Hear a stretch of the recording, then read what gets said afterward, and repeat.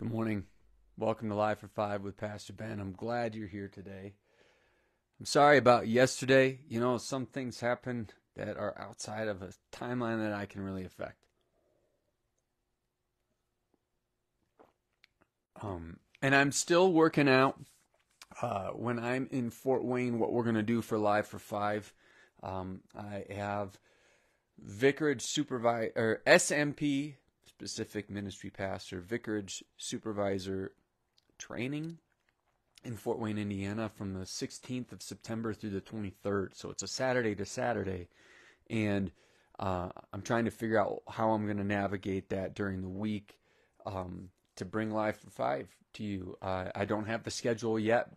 When I have it, I'll start formulating how and if I'll be able to. Um, it's easy enough to bring a stand and have and have the phone and the camera and all this amazing technology to make this happen. So that wouldn't be the problem. It'd be figuring out the timeline. So as soon as I figure that out, we'll make sure we have it.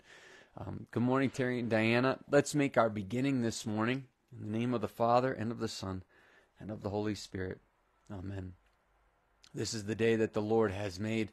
Let us rejoice and be glad in it. From the rising of the sun to its setting, the name of the Lord is to be praised. Amen. Pulling out the YouVersion Bible app, our verse of the day is from Romans chapter 15, verse 5. May the God of endurance and encouragement grant you to live in such harmony with one another in accord with Christ Jesus.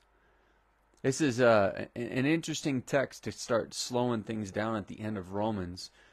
In, involved in all that Paul has said from the beginning of chapter 14 through this text, he is going at the unity in the church. We talk about unity, our, our society talks about unity. And so let's remove all that packaging with how it's been used in other places to just deal with uh, maybe our just our congregation because this was written to one congregation. We have the strong in faith, the weak in faith. We have the abled and the unabled, and everyone in between. And we are one in this one holy church by virtue of this justifying faith that we have that makes us all part of this one body of Christ. This oneness together is a simple fact. A simple fact that Christ is driving to, and Paul is just explaining it all the more. So, Paul's concern is the oneness in apprehending the teachings and the instructions of Scripture. That, that we remain one in the process of being taught and being instructed in Scripture. Now, uh, this is a very important part of this. All believers are to be fully clear on what this instruction is as they're able.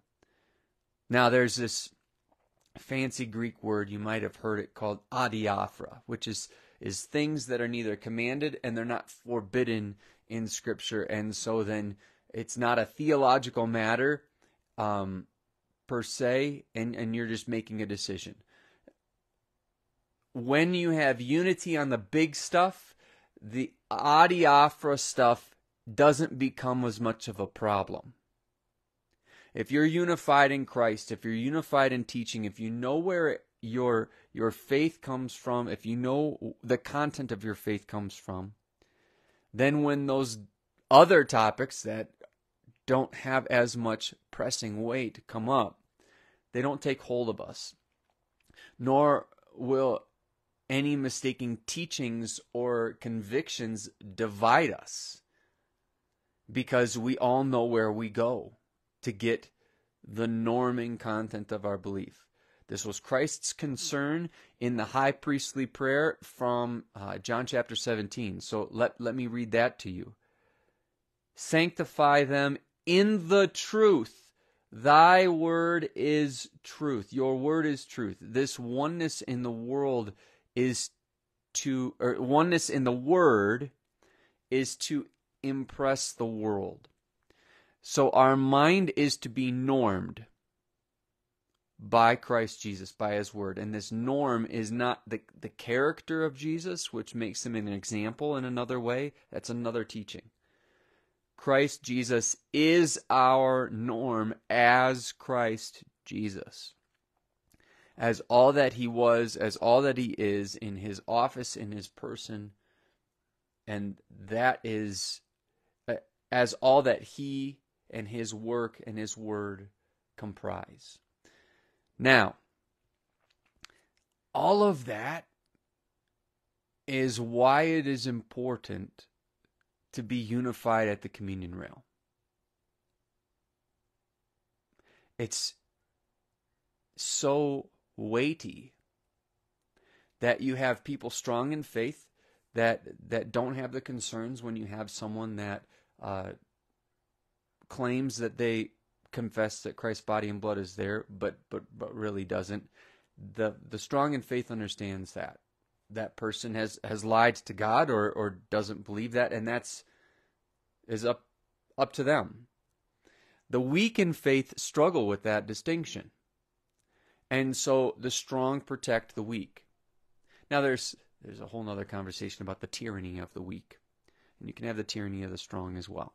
But when it comes to our unity, our unity and harmony as laid out here in Romans 15:5 comes down to the norm and being unified in our teachings. This is this is why communion matters. And and the other myriad of things is just that communion is kind of one of the more frequently prominent ones that comes up. Let, let's let's hear this text again. May the God of endurance and encouragement grant you to live in harmony with one another, in accord with Christ Jesus, as normed by Christ Jesus. May God grant us this harmony. May He grant us this unity in the church. And, and therefore be able to take it to the world as they're impressed by our, our harmony and unity in this way. This, this is almost a prayer unto itself. Let us pray. God of endurance and encouragement, give us unity, give us harmony in the church with one another as we see it normed by the teachings of your Son in your word handed to us. What an amazing, wonderful gift. Give us unity to combat all the ills of this world and bring more to the knowledge of the joy of your salvation. We pray this in your Son's name, Jesus Christ. Amen. Have a wonderful day in the Lord, and I look forward to seeing you tomorrow for more time in God's Word. Have a blessed day in Christ.